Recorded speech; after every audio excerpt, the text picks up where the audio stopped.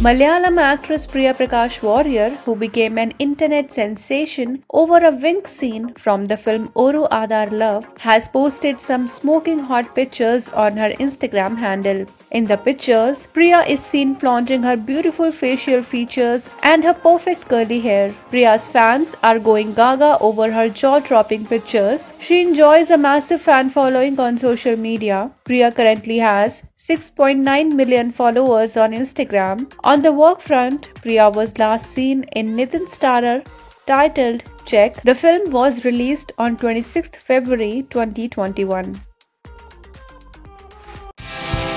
Subscribe to our channel. Just click on the bell icon for all the latest updates.